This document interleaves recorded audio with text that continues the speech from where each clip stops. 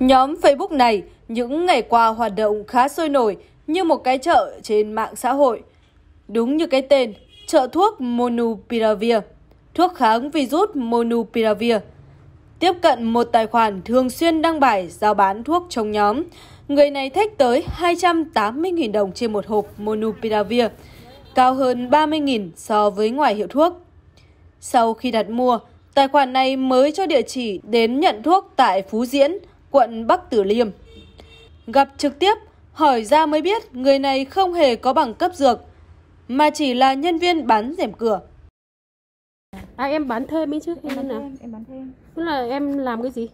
dạ, em bán rèm chị có ai làm rèm chị giới thiệu em Bán rèm cửa. à, rèm cầu cầu vồng ấy từ hôm qua nó bắt đầu thấy cháy rồi ừ. các bên cứ gọi em liên tục ấy em không có lăng quăng qua Hà Nội em lấy một 90 hộp lăng qua qua em giao hết 40 hộp rồi. Thế hôm nay mọi người lấy nữa. Còn thế em bảo em còn có mỗi 13 hộp.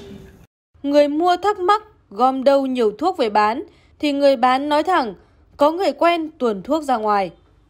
anh ở trong Sài Gòn ấy anh lấy luôn cho công ty cho anh làm dược mà. Anh lấy luôn trong công ty cho thì giá của công ty đưa ra là 231 gửi máy bay ra tận đây.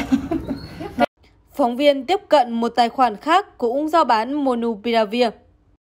Người này hẹn đến lấy thuốc tại địa chỉ trên đường Giáp Nhất, quận Thanh Xuân. Thế nhưng đến nơi, giật mình phát hiện chẳng có hiệu thuốc nào mà là cửa hàng bán đồ ăn nhanh. Chúng tôi quan sát, cứ khách đến mua thuốc. Một người đàn ông trong quán lao ra, dúi vào tay khách túi bóng màu đen. Tiếp cận người đàn ông này được biết, lâu nay chuyên bán đồ ăn vặt, trà sữa. Nay thấy bán thuốc điều trị Covid-19 quá dễ dàng, lại kiếm nhiều tiền, nên chuyển sang bán thuốc. Anh có chuyên về thuốc này không? em có bà gì thì bà làm ở trong viện nó chuyên về thuốc.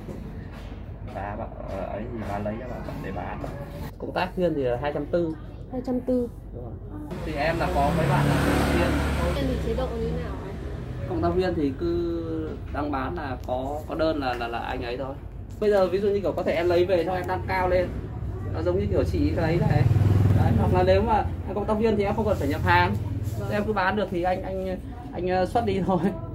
Đấy thì, thì em ví dụ em có thể báo là cái đơn này em ờ, em ờ, báo khách là ví dụ 270, 280 hay 300 gì đấy.